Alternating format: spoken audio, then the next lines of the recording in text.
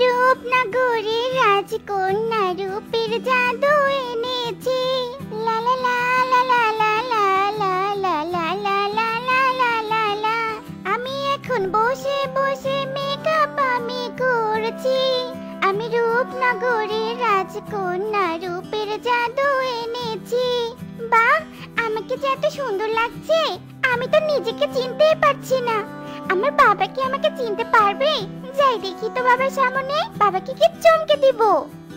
সেনাপতি এই সুন্দর পাখিটিকে আর তোমরা থাকতে রাজদরবারে কি করে অচেনা বাহিরের পাখি ঢোকে? তোমাদের আমি রাজদরবার থেকে বের করে দিব। বাহিরে পাহারা দাও নাকি ঘুমিয়ে থাকো হ্যাঁ? রাজামশাই উনি যে কখন কীভাবে রাজদরবারে ঢুকে পড়েছে আমরা তো কেউ জানি না। আমাকে কেউ চিনতেই পারছি না। কি মজা কি মজা। এই পাখি তুমি এভাবে হাসছো কেন হুম? বলো তুমি রাজদরবারে কেন ঢুকেছো? নিশ্চয়ই শত্রুর বন থেকে ছদ্মবেশে এসেছ। আমাকে মারতে মন্ত্রী এই মেয়েকে কারাগারে বন্দি করো। বাবা বাবা এসব কি বলছো? তোমার নিজের মেয়েকে কারাগারে বন্দি করতে বলছো? আমি তোমার মেয়ে ইকরি। আজ বেশি করে মেকআপ করে সেজেছি বলে তুমি আমাকে চিনতেই পারছ না। হা হা হা হা হা। পাগলি মেয়ে আমার তুই এটা আগে বলবি তো? তা হঠাৎ করে এত সাজুগুজু করেছিস কেন? কোথাও যাবি নাকি রে মা? বাবা কোথাও যাব বলেই তো সেজেছি। ভাবছি আজ আমাদের রাজ্যটা ঘুরে ঘুরে দেখব। আমি তো এখন পর্যন্ত আমাদের পুরো রাজ্যটাই দেখিনি। তাই আজ দেখব ভাবছি। আর রাজার মেয়ে আমি যেমন তেমন ভাবে তো আর বাইরে বের হতে পারি না বাবা। হ্যাঁ রে মা ঠিক বলেছিস ঠিক আছে। তবে রাজ্য ঘুরে ঘুরে দেখ। আর সন্ধ্যার আগে কিন্তু বাড়ি ফিরবি কেমন? মন্ত্রী ইকরির সাথে তুমি যাও আর পুরো রাজ্যটা ঘুরে ঘুরে দেখাও। ঠিক আছে মহারাজ দেখাবো। টুনি বোন আমাদের পাঁচটা করে সিঙ্গারা বেঁধে দাও তো। আমরা আজ এখানে খাব না বাড়িতে নিয়ে যাব। কারণ তোমার হাতে সিঙ্গারা খুব মজার তাই বাড়ির সবাই খেতে চেয়েছে। তাই নাকি কবুতর? ঠিক আছে দিচ্ছি তোমরা একটু দাঁড়াও আমি এক্ষুনি সিঙ্গারা পলিথিনে বেঁধে দিচ্ছি। এই নাও কবুতর তোমার পাঁচটা সিঙ্গারা। আর টিয়ে এটা তোমার। এখন দুজনে মিলে একশো টাকা দাও। এই নাও টুনি আমাদের দুজনের টাকা। এরপর কবুতর আর টিয়ে টুনির কাছ থেকে সিঙ্গারা নিয়ে বাড়ির উদ্দেশ্যে যেতে থাকে। আর তারা পথে রাজার মেয়েকে দেখে দাঁড়িয়ে যায়। দেখ দেখ টিয়ে রাজার মেয়ে হাতির পিঠে উঠে আসছে। রাজার মেয়ে কত সুন্দর তাই না রে? আমার রাজ দরবারে থাকলে আমরাও সুন্দর হতাম। আমি রাজার মেয়ের সাথে আজ কথা বলব। তোমরা এখানে দাঁড়িয়ে আছো কেন? আমাকে দেখার জন্য বুঝছি তা তোমাদের হাতেগুলো কি? হ্যাঁ রাজকুমারী, আমরা তোমাকে দেখার জন্য এখানে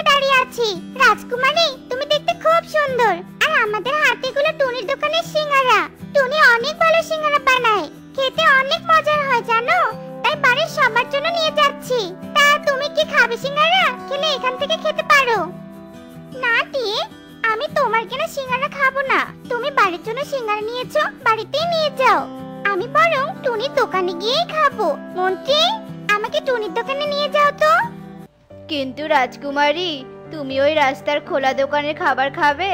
রাস্তায় কত ধুলাবালি মাছি পোকা ওই খাবারে পড়ে থাকে। সেগুলো খেলে তো তুমি অসুস্থ হয়ে যাবে। কি বলছো মন্ত্রী? রাজ্যের সব পাখিরা যদি টুনি সিঙ্গারা খেয়ে অসুস্থ না হয়, আর আমি খেলে অসুস্থ হয়ে যাব? এখন এসব বাজে কথা না বলে আমাকে নিয়ে যাও তো টুনির দোকানে। আমি টুনির দোকানে সিঙ্গারাই খাব। আরে রাজকুমারী, তুমি আমার দোকানে সিঙ্গারা খাবে নাকি? হ্যাঁ টুনি, সিঙ্গারা খেতেই তো আসলাম। শুনলাম তোমার দোকানে সিঙ্গারা নাকি খুব মজার হয়। তা আমাকে কয়েকটা সিঙ্গারা দাও তো। এক্ষুনি দিচ্ছি রাজকুমারী। এই নাও রাজকুমারী, আমার নিজের হাতে বানানো সিঙ্গারা। খেয়ে দেখো। বা, টুনি, এত সুন্দর আর এত মজাদার করে তুমি সিঙ্গারা বানাতে পারো? আমার তো বিশ্বাসই হচ্ছে না যে এটা তুমি হাত দিয়ে বানিয়েছো। আমার তো মনে হচ্ছে তুমি জাদু দিয়ে বানিয়েছো। রাজকুমারী, বললামই তো, আমি আমার নিজের হাতে বানিয়েছি। তুমি যেহেতু সুন্দর মজার সিঙ্গারা বানাতে পারো নিশ্চয় তোমার হাতের সব খাবার অনেক মজাদার হবে। তাই তুমি আজ সব সিঙ্গারা বিক্রি করে ফেলো, আর কাল থেকে আমাদের রাজদরবারে কাজ করবে, সব খাবার বানাবে। আর বিনিময়ে আমি তোমাকে প্রতিদিন একটা করে স্বর্ণ মুদ্রা দেব। কিন্তু রাজকুমারী, রাজামশাই রাজামশাই কি সব মেনে নেবেন? এ নিয়ে তুমি চিন্তা করো না। আমি যা বলব বাবা তাই শুনবে। আজ তাহলে আমি আসি। কাল সকালে তুমি চলে এসো কেমন? এই বলে কালু ইকরিকে নিয়ে রাজ দরবারে যায়। আর রাজ দরবারে ডিউটি শেষ করে কালু বাড়িতে চলে আসে। কাকলি সর্বনাশ হয়ে গেছে। কি সর্বনাশ হয়েছে কালু? সবটা বলো তো আমাকে। ভেবেছিলাম রাজদরবারে খাবার বানানোর জন্য তোমাকে নিতে বলব। আর খাবারে বিষ মিশিয়ে রাজাকে মেরে ফেলে আমি রাজদরবার দখল করব। এই বনের রাজা হব। কিন্তু আজ রাজকুমারী তো টুনিকে কাজ দিয়েছে। এখন কি করে রাজাকে মারবো? সব স্বপ্ন যে আমার শেষ। আরে, তাতে কি হয়েছে? এখন তো আরও সুবিধা হলো। আমার মাথায় একটা বুদ্ধি এসেছে কো শোনো শোনো। এরপর কাকুলি তার বুদ্ধির কথা কালুকে খুলে বলে, আর কালু কাকুলির বুদ্ধি শুনে অনেক খুশি হয়ে যায়। এভাবে সেই দিন কেটে যায়।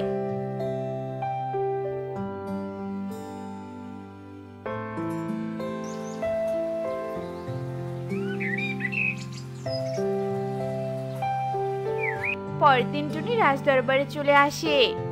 আরে টুনি তুমি এসেছ?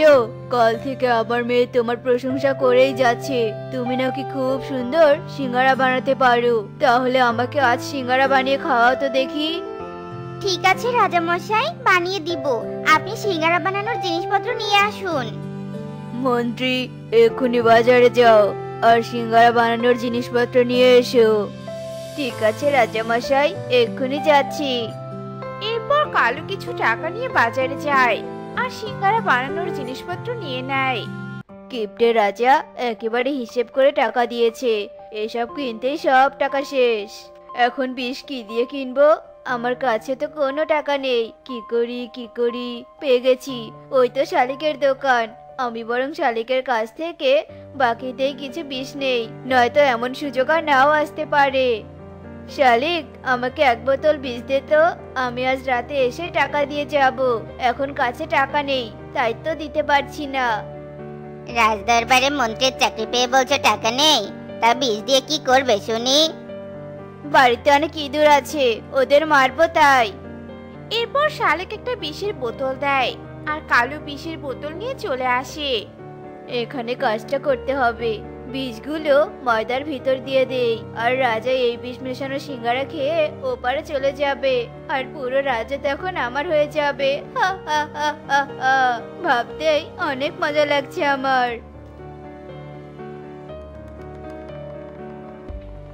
এই নিন রাজামশাই সিঙ্গারা বানিয়ে ফেলেছি। এবার খেয়ে দেখুন তো কেমন হয়েছে। হ্যাঁ হ্যাঁ, টুনি দাও তো দেখি।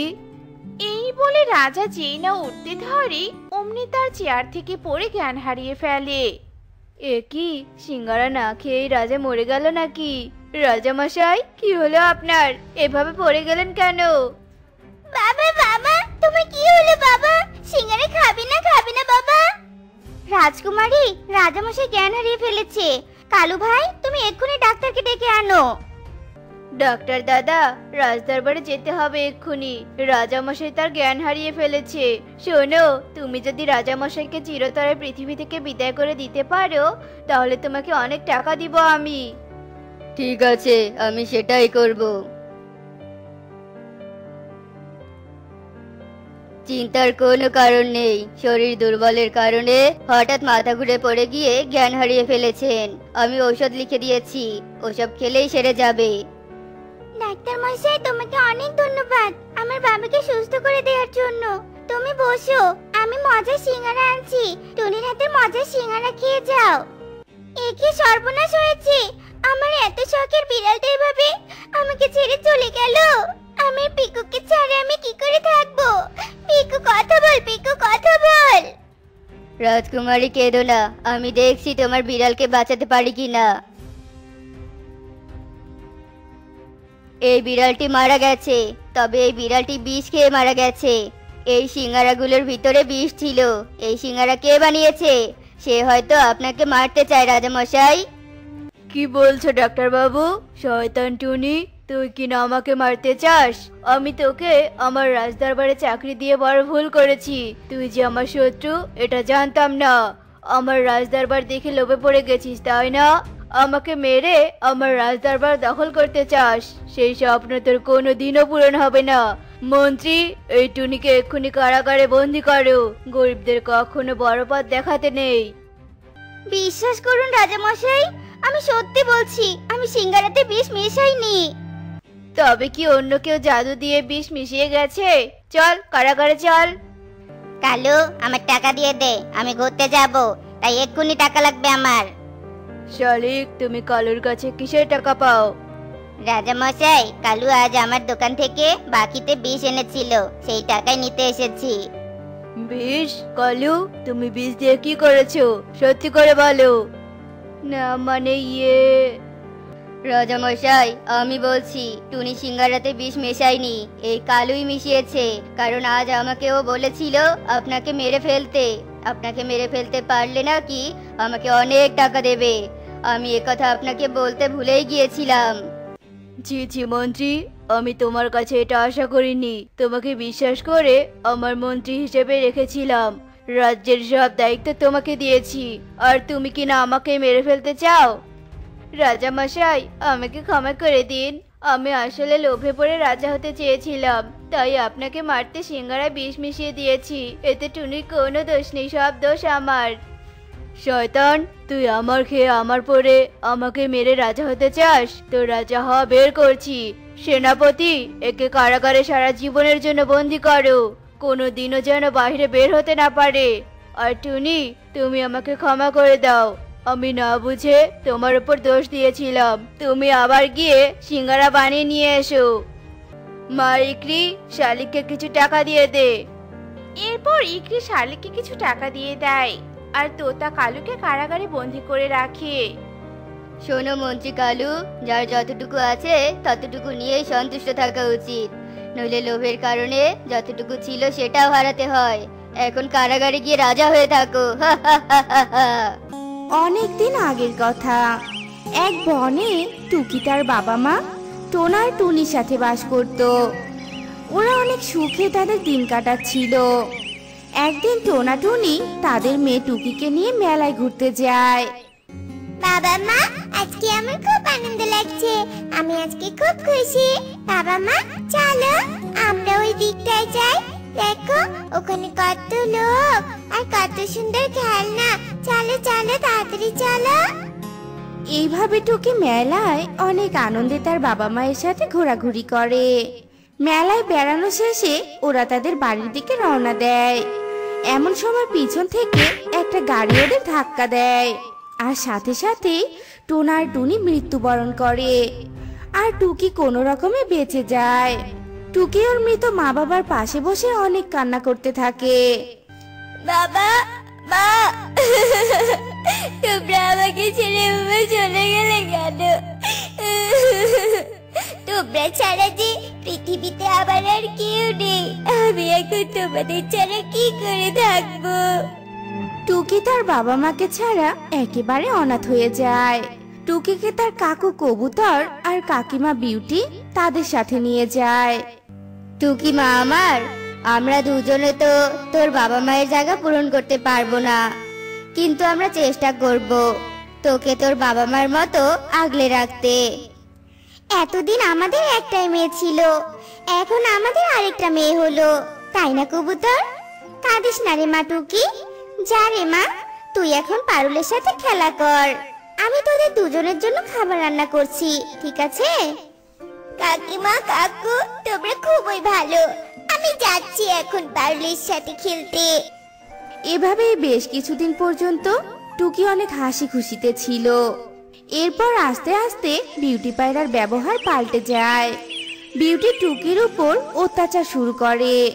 একদিন টুকি এই নবাব দাদি কোথায় গেলি রে মুখপুরি? এদিকে আয় বলছি তাড়াতাড়ি। কি হলো কাকিমা এমন করে ডাকছো কেন? কি হয়েছে? কি হয়েছে মানে? দেখতে পাচ্ছিস না? পুরো ঘর কেমন অগোছালো হয়ে আছে।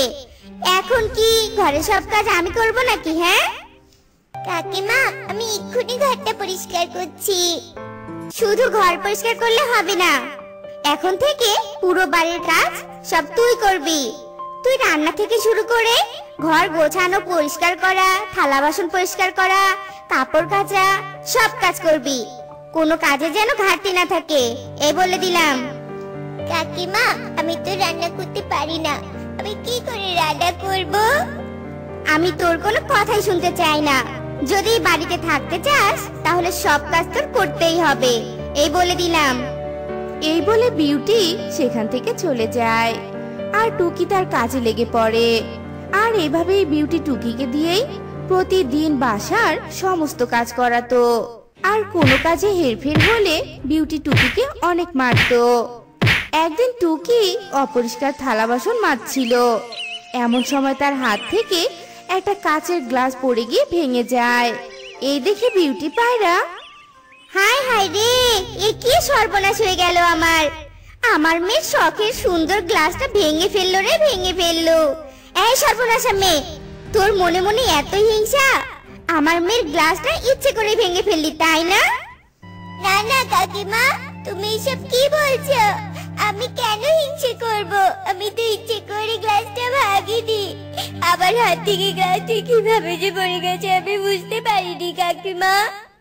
বুঝতে পেরেছিস না পারিসনি সেটা আমি ভালো করেই জানি। ভুল করে আবার আমার মুখে মুখে তর্ক করছিস?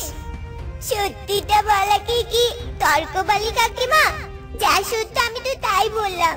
এখানে আমার দোষ কোথায়? দিন দিন তোর সাহস বেড়ে যাচ্ছে। এই বলে বিউটি পায়রা টুকিকে মারতে থাকে। আদর করে করে তোকে মাথায় তুলেছি। যার কারণে আজ তোর এই রূপটা দেখতে হচ্ছে আমায়। বল আর এরকম কাজ আরও করবি? কাকিমা আমার ভুল হয়ে গেছে কাকিমা। আমি আর এমন কাজ করব না। আমাকে ছেড়ে দাও। আর বেরো না কাকিমা। আজ তোকে ছেড়ে দিলাম। এর পরের বার তোকে এই বাড়ি থেকে তাড়িয়ে দিব। তাই আর কখনো এমন কোনো ভুল কাজ করবি না। বুঝতে পেরেছিস? এই বলে বিউটি পায়রা সেখান থেকে চলে যায়। প্রতিদিন টুকি সব কাজ শেষ করে নদীর পাড়ে গিয়ে একটা কলা গাছের নিচে বসে কান্না করত। হে তুমি এত কেন? আমার আমার কাছ থেকে কেড়ে নিয়েছো। তার উপর আবার কাকিমা আমার উপর অত্যাচার করে। এর চেয়ে ভালো তুমি আমাকেও বাবা তুলে দাও। আমার এটুকু বয়সে আমি আর এসব সহ্য করতে পারছি না। টুকি যখন এসব বলছিল, তখন কলা গাছটা সব শুনতে পায়। আর কলা গাছটা কথা বলে ওঠে। না খুকি এমন ভাবে বলতে নেই। এরকম বলা যে অন্যায়। আওয়াজ শুনে টুকি অনেক ভয় পেয়ে যায় আর এদিক ওদিক তাকাতে থাকে। কে? কে? কে কথা বলছে? কে এখানে? কে? আমি খুকি আমি কলা গাছ কথা বলছি তোমার সাথে। গাছ তুমি আমার কোনো ক্ষতি করো না। আমার উপর তুমি কোনো অত্যাচার করো না। আমি যে অনাথ। ভয় পেও না খুকি। আমি তোমার কোনো ক্ষতি করব না। আমি হলাম জাদুর কলা গাছ আমি তোমাকে সাহায্য করব। আচ্ছা তুমি কি আমার বন্ধু হবে? তোমার যখন কথা বলতে ইচ্ছে করবে তখন তুমি আমার কাছে আসবে। কেমন? হ্যাঁ বলব। জানো আমার কাকিমা আমাকে খুব অত্যাচার করে। আমাকে দিয়ে বাড়ির সব কাজ করায় নেয়। আর আমাকে খেতেও দেয় না। আমার এখন খুব খিদে পেয়েছে। আমার কাকিমা খুব পচা। খিদের জ্বালায় পেটের মধ্যে ছোট দৌড়াচ্ছে। ও এই ব্যাপার? দাঁড়াও আমি তোমাকে এক্ষুনি খাবার এনে দিচ্ছি। এই বলে জাদুর কলা গাছ জাদু করে টুকিকে অনেকগুলো খাবার দেয় আর টুকি সেগুলো খেয়ে নেয়। এরপর থেকে টুকির যখনই উদাস লাগতো আর ক্ষুধা লাগতো তখনই টুকি ওই জাদুর কলা গাছের কাছে আসতো। আর কলা গাছের কাছে সাহায্য চাইতো। এভাবেই অনেক দিন কেটে যায়।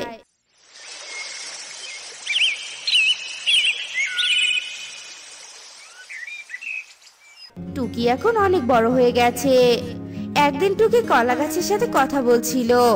তখন পিছন থেকে বিউটি পায়রা টুকিকে ডাকে। টুকি টুকি! তুই ওখানে কি করছিস রে? তাড়াতাড়ি বাড়িতে চলে আয়। টুকি বিউটির এমন কথা শুনে কলা গাছের কাছ থেকে বিদায় নিয়ে বাড়িতে চলে আসে। রোজ রোজ তোকে এইভাবে ডাকতে হয় কেন বলতো? তুই কি ভুলে গিয়েছিস? কালকে পারুলের জন্মদিন? কালকে এ বাড়িতে অনেক মান্যগণ্য পাখিরা আসবে। আর তোকে সব কাজ করতে হবে বুঝতে পেরেছিস? বাড়িটা পুরো ফুল দিয়ে সুন্দর করে সাজাবি। এই বলে দিলাম। আর সমস্ত অতিথিদের খাবারও তোকেই বানাতে হবে। ঠিক আছে কাকিমা আমি সব কাজ করব। এরপর বিউটি সেখান থেকে চলে যায় আর টুকিও তার কাজে লেগে পড়ে। টুকি ঘর পরিষ্কার করে ফুল দিয়ে অনেক সুন্দর করে পুরো বাড়িটা সাজায়। পরের দিন সকালে টুকি একাই সব অতিথিদের জন্য খাবার বানায় আর ধীরে ধীরে সব অতিথিরা আসতে শুরু করে। এরপর টুকি ওর কাকিমার কাছে যায়। কাকিমা সব কাজ শেষ। আর কাকিমা পাউলের যদি কোনো পুরনো গহনা থাকে তাহলে আমাকে একটু দাও না গো। আসলে আজকে বাড়িতে অনেক অতিথি আসবে তো তাই। টুকি পারুলের থেকে দেখতে অনেক সুন্দরী ছিল। টুকির এই কথায় বিউটি মনে মনে বলে এ তো এমনিতেই সুন্দরী। তার উপর যদি আবার গহনা পরে সাজগোজ করে তাহলে তো উত্তরের জমিদারের রকি আমার মেয়েকে রেখে একেই পছন্দ করবে। না না, একে পার্টিতে যেতে দেওয়া যাবে না। তুই গহনা চাচ্ছিস কেন বলতো? তোর তো গহনা দরকার নেই। আর শোন, তুই ভুলেও কিন্তু অতিথিদের মাঝে একদম যাবি না। আর যদি যাস, তাহলে আজকে এই বাড়িতে তোর শেষ দিন, এই বলে দিলাম। বিউটির এমন কথা শুনে টুকি মন খারাপ করে ওই কলা গাছের কাছে যায়। আর কলা গাছকে সমস্ত ঘটনা খুলে বলে। সব শুনে কলা গাছ টুকিকে অনেক সুন্দর একটা গহনা দেয়। এরপর টুকি গহনাটা পরে নেয়। আর সেই গহনাটা পরে টুকিকে দেখতে অনেক সুন্দর লাগছিল। এরপর টুকি পারুলের জন্মদিনের পার্টিতে যায়। আর রকি ওকে দেখে অনেক মুগ্ধ হয়। আর রকি টুকিকে বিয়ে করার প্রস্তাবও দেয়। তোমাকে দেখতে অনেক সুন্দর লাগছে। আমি তোমাকে বিয়ে করতে চাই। তুমি কি আমাকে বিয়ে করবে? হ্যাঁ করব। কিন্তু টুকিকে রাজি হতে দেখে পারুলার বিউটি অনেক রেগে যায়। কোনো কিন্তু নয়। আমি তোমাকে আজকে আমার সাথে নিয়ে যাব। তুমি যাবে আমার সাথে? হ্যাঁ যাব। কিন্তু তোমাকে আমার সাথে এক জায়গায় যেতে হবে। চলো আমার সাথে। এই বলে টুকি ওই কলা গাছের কাছে যায়। আর টুকি কলা গাছকে সমস্ত ঘটনা খুলে বলে বন্ধু কলা গাছ এখন তোমাকে ছেড়ে আমার চলে যাওয়ার সময় এসেছে। তোমার সাহায্যের কথা আমার খুব মনে পড়বে। আমার যদি ওখানে আবার তোমার সাহায্যের প্রয়োজন হয় তখন আমি কি করব? তোমাকে তো একদিন না একদিন ছেড়ে যেতেই হবে এখান থেকে। তাই বলে কি আমি আমার বন্ধুকে সাহায্য করব না? এই নাও, এই তিন রঙের তিনটি কলা নাও। এই তিনটি কলার কাছে তুমি যা চাইবে, ওরা তোমাকে তাই দিবে। আর ভালো থেকো বন্ধু, মাঝে মাঝে আমাকে দেখতে এসো। এরপর টুকি তিন রঙের তিনটে কলা নিয়ে রকির সাথে উত্তরের বনে যায়। আর ওখানে অনেক সুখে শান্তিতে বসবাস করতে থাকে। শিমুলপুর বনে টোনা তার দ্বিতীয় স্ত্রী মুন্নির সাথে বসবাস করত। টোনার প্রথম স্ত্রী টুনি তার মেয়ে টুকিকে জন্ম দিতে গিয়ে মারা যায়। টোনা তার মেয়ের দেখাশোনা করার জন্য মুন্নিকে দ্বিতীয় বিয়ে করে। একদিন টোনা, মুন্নি, টুকি কোথায়? টুকিকে দেখছি না কেন? টুকি ওর বন্ধুদের সাথে মাঠে খেলতে গিয়েছে। কেন? কি হয়েছে? কিছু বলবে নাকি আবার? না না কিছু বলব না। আমি কাজে যাব তো তাই বললাম আর কি। তাহলে আমি এখন কাজে যাই। তুমি টুকিকে দেখে রেখো কেমন। এই বলে টোনা কাজে চলে যায়। মুন্নি টুকিকে অনেক অত্যাচার করত। কিন্তু টোনা এসবের কিছুই জানতো না। টোনা চলে যাওয়ার পর মুন্নি বলে মেয়ের জন্য দরদ যেন উচ্চে পড়ছে। আমি তো এই সতীনের মেয়েকে মেরেই ছাড়বো। টুকি? এই টুকি কোথায় তুই? তাড়াতাড়ি এখানে আয়। কি রে? কি হয়েছে মা? আমাকে এভাবে ডাকলে কেন? থালা বাসনগুলো সব পরিষ্কার করে রান্নাঘরে রান্না চাপাবি বলে দিলাম। কোনো কাজে যেন কোনো নড়বড় না হয়। আর হ্যাঁ শোন এসব কথা যেন তোর বাবা কিছুতেই না জানে। ঠিক আছে মা। তুমি চিন্তা করো টুকি মুন্নির সব কথা শুনতো। টুকি মুন্নির সব অত্যাচারের কথা ভুলে যেত। যখন মুন্নি টোনার সামনে টুকিকে নিজের মায়ের মতো আদর করত, একদিন টুকি তার বন্ধুদের সাথে খেলা করে সন্ধ্যায় বাড়ি আসে। সেদিন টুকি বাড়ির কোনো কাজ করে না। টুকি বাড়ি আসার সাথে সাথে, এই হতচ্ছাড়ি বুকপুরি সারাদিন বাড়িতে আসিস নি কেন হ্যাঁ? তোর এত কাজ কে করবে শুনি? কেন এত দেরি করে বাড়ি ফিরলি বল? কাজ না করার ভয়ে তাই না? না মা আসলে আমি খেলতে খেলতে বুঝতে পারিনি যে কখন সন্ধ্যা হয়েছে। বুঝতে পারিসনি তাই না? দাঁড়া তোকে বোঝাচ্ছি মজা। এই বলে মুন্নি টুকিকে অনেক মারতে থাকে আর বলতে থাকে বল বল আর কোনোদিনে এমন দেরি করবি? আর যদি এমন করিস তাহলে কিন্তু সেদিন তোকে আমি মেরেই ফেলব। এই বলে দিলাম। না মা না। আমি আর কোনোদিন এমন করব না। আমাকে আর মেরো না মা। আমি আর এমন করব না। এরপর মুন্নি তার ঘরে চলে যায়। টুকি কান্না করতে করতে বিছানায় শুয়ে পড়ে আর মনে মনে বলতে থাকে বাবা আসলে আজকে আমি বাইরের অত্যাচারের কথা খুলে বলব। বাবাকে বলব। যে মা আমাকে একটু ভালোবাসে না। টুকি এসব বলতে বলতে ঘুমিয়ে পড়ে। এদিকে টোনা কাজ থেকে ফিরে এসে খেতে বসে। এ কি মুন্নি টুকিকে তো দেখছি না। তুমি টুকিকে ডেকে আনো তো। আজকে আমরা সবাই একসাথে খাবার খাব। টোনার কথা শুনে মুন্নি টুকিকে ঘুম থেকে ডেকে নিয়ে আসে। টুকি মা আমি তোকে খাবার খাইয়ে দেই কেমন? টোনা তুমি ইদানিং টুকির জন্য কোনো খেলনা নিয়ে আসো না কেন? শোনো কালকে টুকি মায়ের জন্য তুমি সুন্দর সুন্দর খেলনা নিয়ে আসবে কেমন? টুকি মুন্নির এমন ব্যবহার দেখে মনে মনে বলে না না আমি মায়ের অত্যাচারের কথা বাবাকে বলব না। বাবার আড়ালে মা আমাকে অত্যাচার করলেও বাবার সামনে আমাকে তো মায়ের মতো আদর করে। বাবা শুনলে যদি আবার মাকে তাড়িয়ে দেয় তখন আমি এইটুকু আদর কোথায় থেকে পাবো? এইটুকু আদর থেকেও তখন আমি বঞ্চিত হব। যাই হয়ে যাক দিন শেষে মা আমাকে একটু তো আদর করে এতেই আমি খুশি। কি হলো রে টুকি মা? খাচ্ছিস না কেন? তরকারিতে কি বেশি ঝাল হয়েছে? না মা অনেক মজা হয়েছে। বাবা জানো মা না আমাকে অনেক আদর করে। পরের দিন টোনা টুকির জন্য একটা গহনা কিনে আনে। আর এই দেখে মুন্নি মনে মনে অনেক রেগে যায়। আর মনে মনে বলতে থাকে, না, এই সতীনের মেয়েকে যত এই বাড়িতে রাখব, ততই টোনার সম্পত্তি নষ্ট হতে থাকবে। আমার সন্তানরা ছাড়া টোনার সম্পত্তিতে আর কারও অধিকার থাকবে না। আমি কালকে এই মেয়েকে নদীতে ফেলে দিয়ে আসব। এভাবেই সেই দিনটা কেটে যায়। পরের দিন টোনা কাজে চলে গেলে মুন্নি টুকিকে বলে টুকি মা? চল, আজ আমি তোকে ঘুরতে নিয়ে যাব। যাবি? সত্যি বলছো, মা? আমার তো বিশ্বাসই হচ্ছে না। তা কোথায় যাব, মা, আমরা ঘুরতে? আজকে আমরা পুরো বন ঘুরে বেড়াবো। আমাদের যা খেতে ইচ্ছে করবে, আমরা তাই খাব, জানিস? এই বলে মুন্নি আর টুকি ঘুরতে বেরোয়। ঘুরতে ঘুরতে ওরা একটা নদীর পাড়ে চলে আসে। টুকি নদীর একদম কিনারায় দাঁড়িয়েছিল। দেখ দেখ টুকি মা নদীর ওই পাড়টা কত সুন্দর। তুই যাবি ওই পারে এই শুনে যেই না টুকি নদীর ওই পারে তাকায় তখনই মুন্নি টুকিকে ধাক্কা দিয়ে নদীতে ফেলে দেয়। টুকি নদীতে পড়ে ভাসতে থাকে। এই দেখে মুন্নি অনেক হাসতে থাকে আর হাসতে হাসতে বাড়িতে চলে আসে। এদিকে টুকি ভাসতে ভাসতে নদীর মাঝখানে চলে যায়। আর ওই নদীতে ছিল তিন রঙের গোলাপ গাছ। এ কি এ তো একটা পাখির ছানা। একে তো আমার বাঁচানো উচিত। এই বলে তিন রঙের গোলাপ গাছটা টুকিকে তার লাল রঙের গোলাপের উপর শুইয়ে দেয় আর বলতে থাকে এই মেয়ে তুমি নদীতে এলে কি করে? এই মেয়ে এ কি আমি এখানে কেন? কি কথা বলে আমার সাথে?